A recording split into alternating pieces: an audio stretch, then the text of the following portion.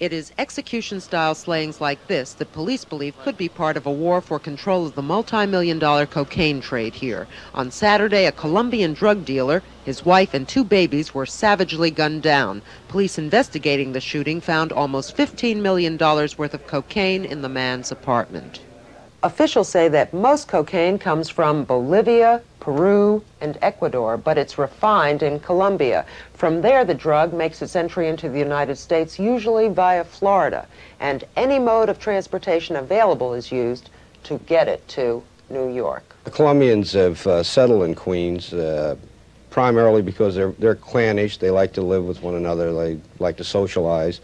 And the uh, controlling aspects of the cocaine traffic here use Queens because that's where they live as their base of operation. Police say that in drug deals, the Colombians operate on trust, and when the trust is broken, they will kill readily. It's merely a, uh, a tight internal uh, operation in which people that can no longer be trusted are eliminated. Officials say that they believe that the base of operations is here in the Jackson Heights section of Queens, but they also admit that even after the events of Saturday, that they don't expect the organization responsible to move too far away from here. When they uh, feel that they've been identified, they readily leave apartments, leaving all the furniture, and just move to another apartment house or another location. So we have no reason to believe that this event would cause them to abandon Jackson Heights uh, or Corona or any area that they're now operating in in Queens.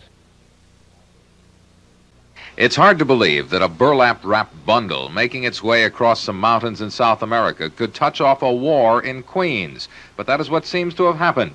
Yesterday morning, 29 year old Carmen Galvez, her four month old son Damien, and her 18 month old daughter Dorothy were killed by shotgun blasts as they sat in a Mercedes Benz on the Grand Central Parkway. A man in the car, also killed, is believed to have been 32 year old Orlando Galvez.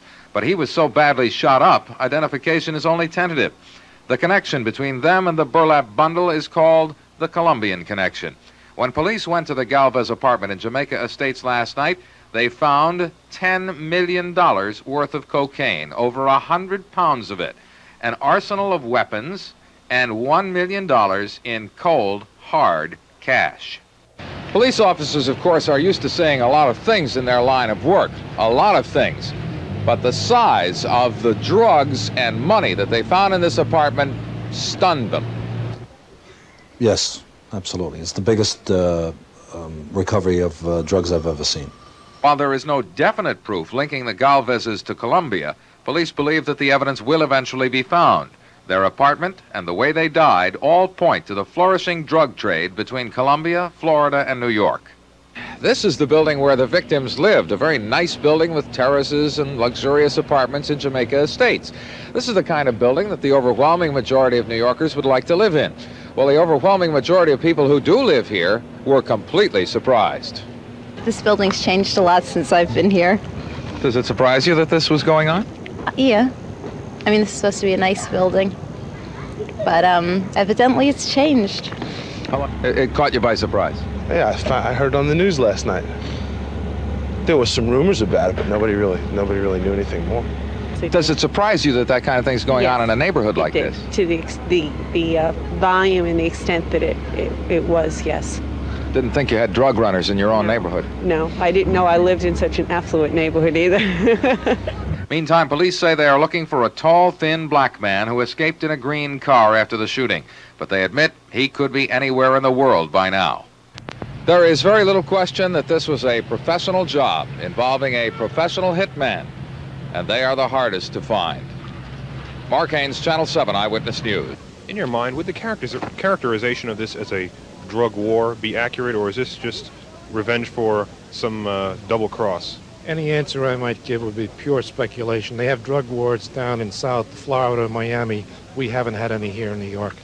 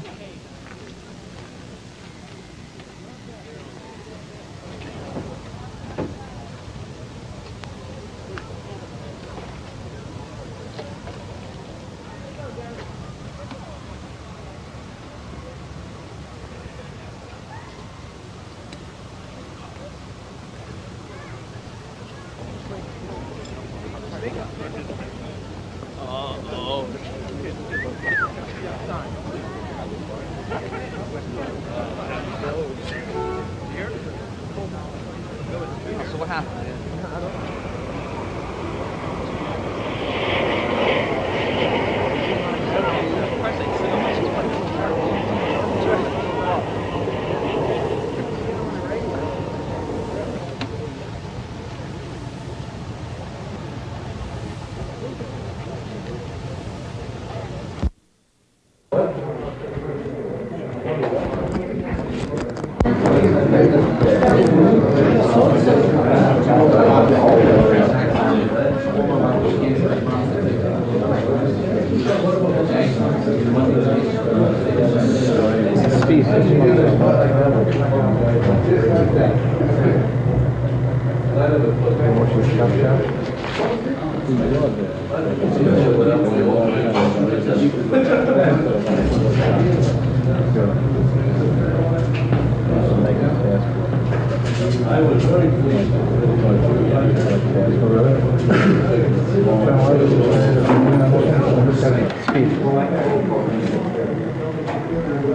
you across the place.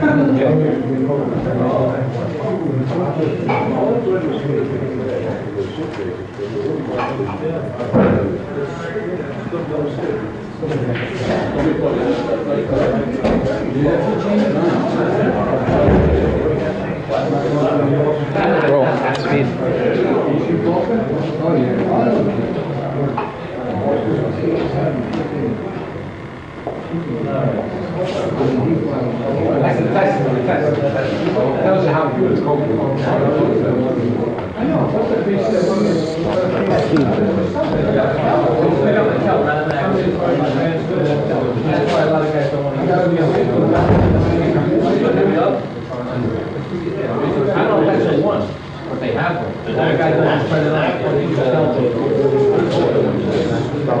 I'll put it right in the safe. All you would do is count each bag. uh, See the back, uh, this bag has so-and-so, uh, three thousand one hundred. You want fifty pounds, don't need them. We'll have to uh, this stuff. Maybe we'll be around at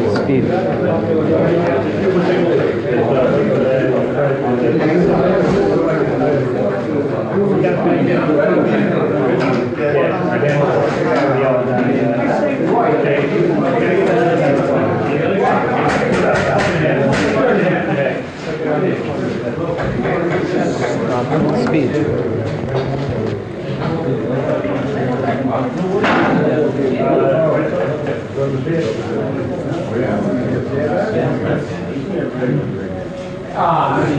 Stop speed.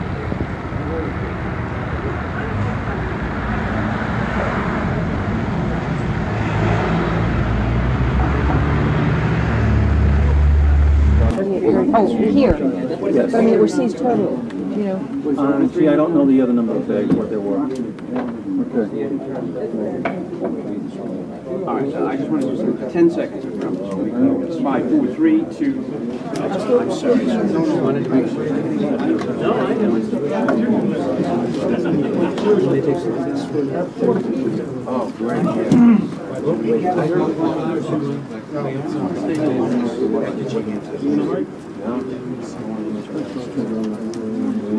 Hey,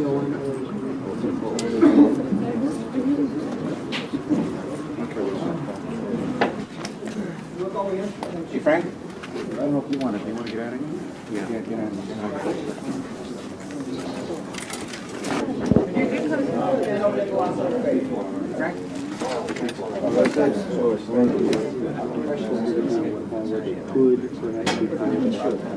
Well, they won't be paraded out. I know, Thank you.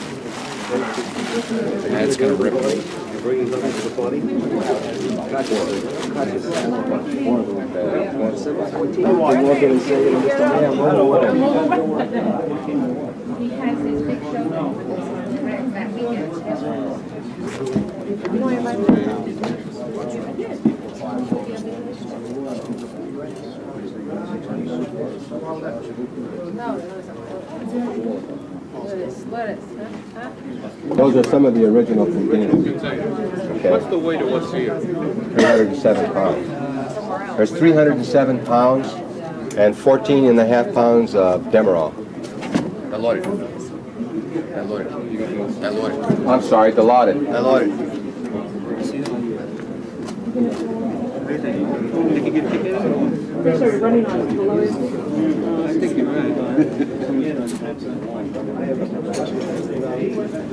As an offshoot of this continuing investigation, subsequent investigation, then we get to our... Yep. Of course, details.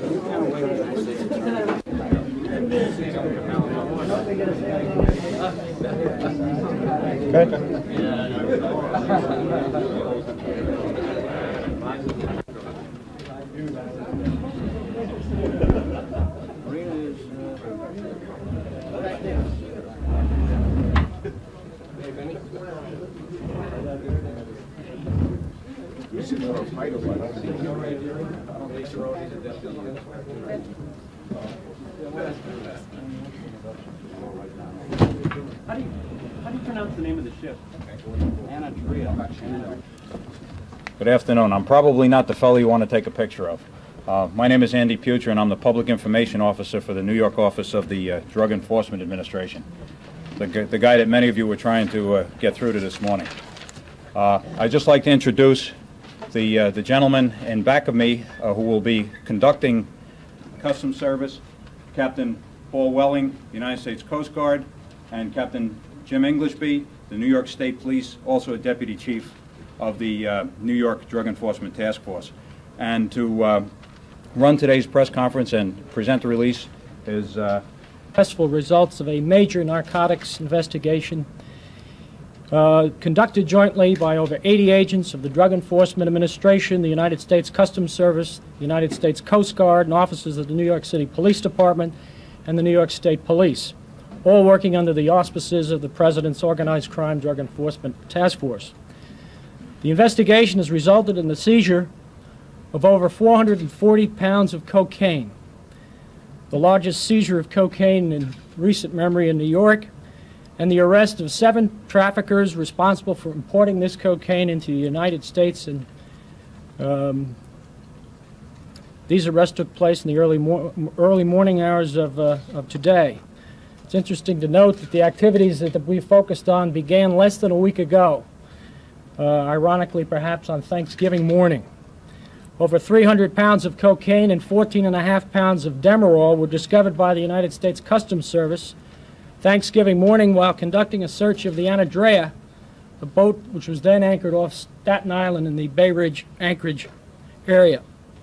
The Anadrea is registered in Panama and it came into New York Harbor, uh, as you might expect, from Colombia and purported to carry with it a cargo of raw brown sugar.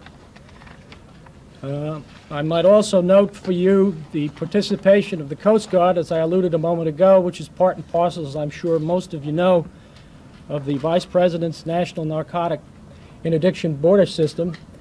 Um, they participated uh, initially in the investigation as well as in the events that unfolded early this morning with the culminations of the arrests.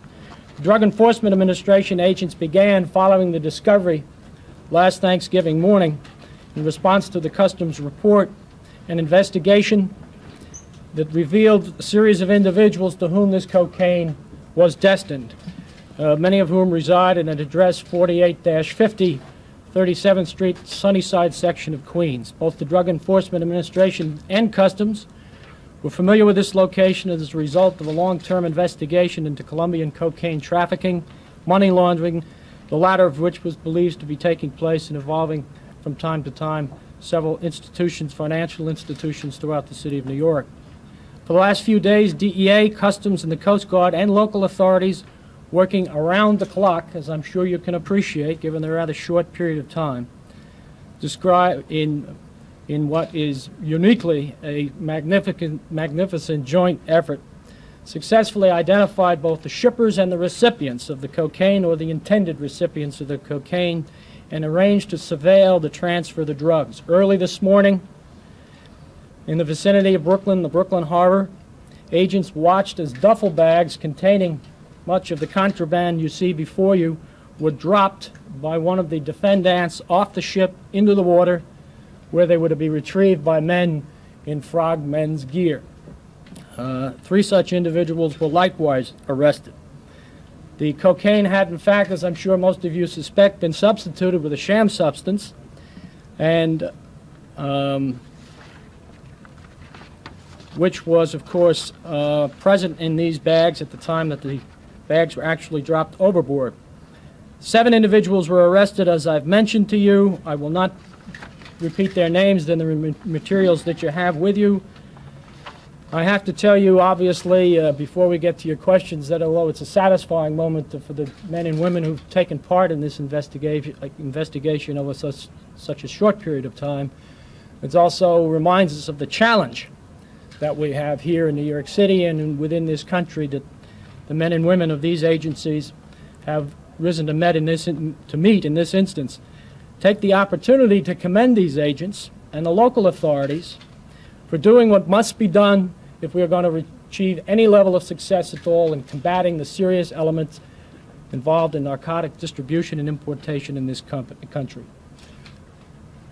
But law enforcement agents demonstrated an extraordinary degree of flexibility, imagination, and cooperation over an, over a very, very short period of time. And it was that flexibility and their cooperation working together.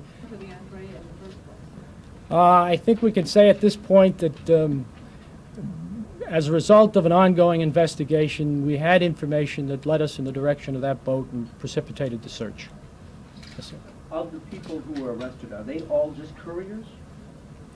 No, uh, uh, the feeling at this point, and the evidences will be a theory of kingpins, but we feel very confident, and I think as the information will demonstrate that what we have here are principals, people who had the immediate interest to underwrite the cost of this shipment and who stood to gain the most by the eventual distribution throughout the United States. You've got seven arrested already, Mr. Deary. Is this the end of it, or do you expect more arrests to occur? No, the Presidential Task Force investigation, I can say, despite the activity today, has really just begun. Uh, seven have been arrested. It is likely, if not frankly inevitable, that more arrests will follow. Trace for us the route of the ship and the shipment as you know it? Well, all I can tell you is Colombia, but perhaps somebody from General here, you left where in Colombia? It was loaded in Colombia. All right. It was loaded in Colombia, destined for New York. Are they uh, uh, Colombian nationals, The information we have now is that is yes, the, each one of them is a Colombian national. So they're illegal aliens? That's correct. This is a very tentative situation right now because, as you know, we're literally hours away from, from making the arrests. Which ones, which ones are the principals? I'm not going to characterize the individuals themselves, except at the present time, with the information that you have, at the time of arraignment, there may be further clarification because all of this is being worked out now. You know, sir, was this coke only destined for this area, or was it expected to be, let's say, shipped and sent to other parts of the country, let's say, for distribution? We don't know. Mr. Deering, compared to what you think is coming into the country, is this Um, and we feel that it will, its impact will be felt in many ways, uh, price-wise uh, and others, on the streets of New York. With these, with And his name, I think you have, but let me see if I, Mr. Hooker was a member of the crew. The other, indi- time getting it now because of this bus. yeah, I'm saying the price has gone up as of 4:30 this morning. To what? Roughly. Well- percentage-wise, just rough. You got a coin? I don't know. The price has gone up because this happens to be a significant amount of cocaine of very high purity. Is, is there anybody here on the panel that was actually there for the, uh, that could describe the moment when we first saw it? Which moment, when it was first seized? Mm-hmm. Maybe the United States Customs would like No, I don't think there's anyone here that actually participated in the search itself. They're all home in bed, where they belong.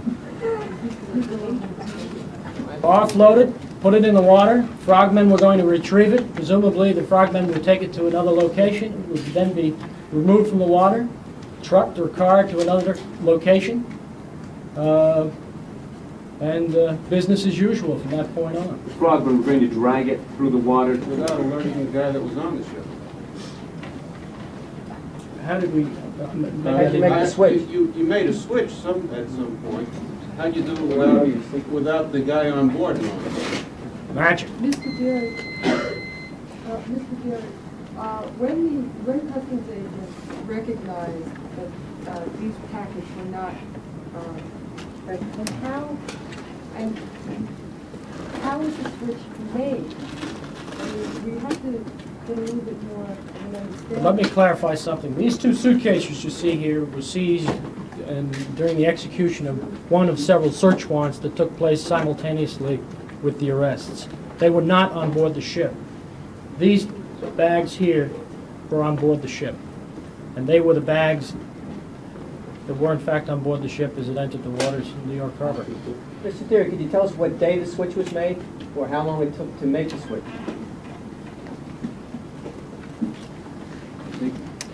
It's a very significant seizure. I recall one 600-pound seizure on Long Island a year or two ago. Um, The amount is very unusual um, and significant, and uh, I don't know how else I could attempt to respond to your question, except... I think we want to know, what- how does it rank in, in? How does it rank? Yeah. To the best of my recollection, this seizure is exceeded only by the 610-pound seizure. Up to the microphone. Could you do that into the microphone, I- I'm sorry, I forgot to run. To the best of my recollection, this seizure is only exceeded in the New York area by the 610-pound seizure a little over a year ago. What's the average cocaine seizure? Is there an average size, 100 pounds, 50 pounds? Uh, I really don't think there are any average size. They run anywhere from a pound to 50 pounds to, there is no average size. Mr. Jensen, are these the boxes that the, uh, drugs were actually found in? No, contained within those boxes are the original drugs that was seized from the anadria. Contained within, uh, well, or at least there were three of them, are the substitute drugs. And then over here are the drugs that were seized from the apartment in Queens. The boxes The have actual the real drugs from the ship, the duffel bag has the substitute drugs? That's correct. What's in the trash bag? Well, that was also inside other duffel bags. There were three duffel bags. That's real or fake? That's fake. It's from this original shipment, or is this in addition? No, it's in addition to the original shipment. You know where that came from? At this stage, no, although it was in their possession, so we assume it came from the same source. Well, we presume, at this point, we're assuming they are illegal aliens, Colombian nationals. Um, We, uh, currently, there is some indication that one or two of them may have had prior arrests and convictions, but I can't confirm it, and I don't, I have not been able to confirm it. Perhaps later in the day, we'll, we'll be able to do it. Based upon the information that we had, and I mentioned a moment ago that this, this occurred as part of an investigation that was ongoing prior to Thanksgiving, we believe and I think the information contained in the pleadings when they're filed will indicate that what we have here are principals, people who were in the business of importing and distributing cocaine. Mr. Theory, when did the ship arrive in New York Harbor, and give us a description of its size and the complement of the crew? Here, the uh, Thanksgiving evening, about 9:30. That's just a freighter? That's a bulk sugar ship. Yeah, Not as much sugar as coke, not as much coke as sugar, but Was that a yes, a legitimate cargo. brown sugar, as they said? Brown sugar, yes. So really, it's only one crew member that, uh, that was involved in the, in the... We believe so, yes.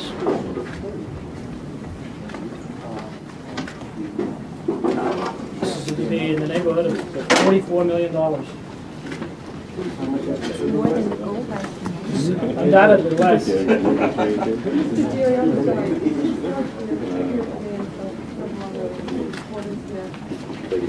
alcohol.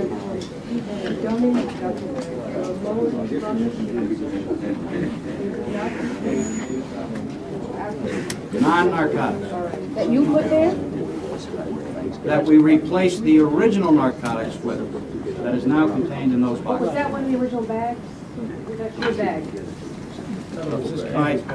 Yes, there, on the vessel, the original drugs were contained in both duffel bags and paint cans. Paint cans, like, like. Yes, that paint cans, yes. Okay. Not know that the switches had been made. Not of the switch. Uh,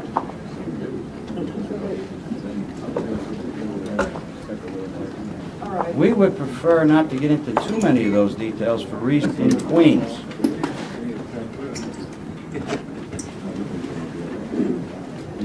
All right, so that. Go ahead. That is even more confusing. I'm sorry, did you or did you not make a switch on board? You made a switch with phony stuff. There was real... situation, a very difficult circumstance. It's different now in the way it used to be. What happened before. Well, I'm- I don't know what would have happened before. Well, but I'll bet that each agency has something separate and important to commit. And that's what the task force does. It recognizes the differences, but at the same time, it, it, it states how the enhanced value of a group effort. Anything else? The, ac- the actual arrest, was was this made by uh, agents in boats picking up the frogmen? Is that correct? Well, we had Coast Guard assistants at there at the time, and how precise those were.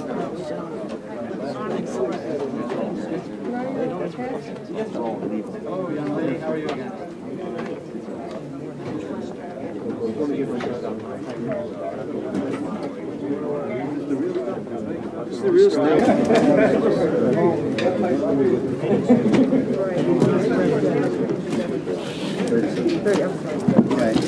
So now, um, how about moving back?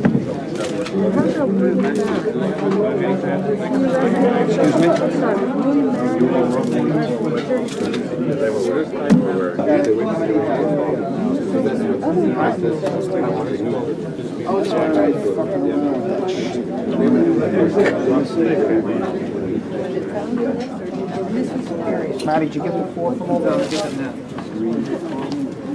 Hey, we're looking at three N, you see now? do account. go, Mackey, George, you do account first. One, two, three, four, five, 14, 15, 16, 17, 18, 19, 20, 21, 22, 23, 24, 8, 9, 30, 46, 37, 38, 39, 40, 41, 42,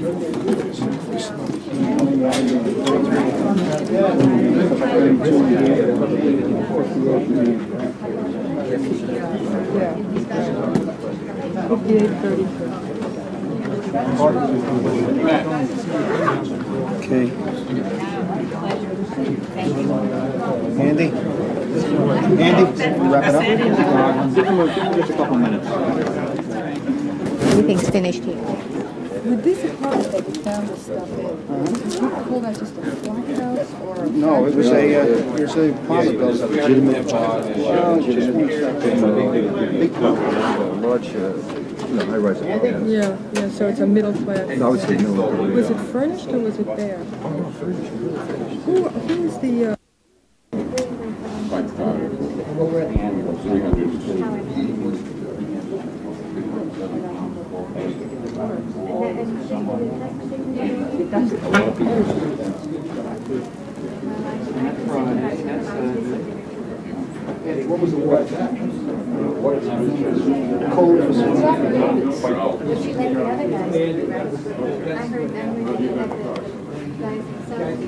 could solve that problem.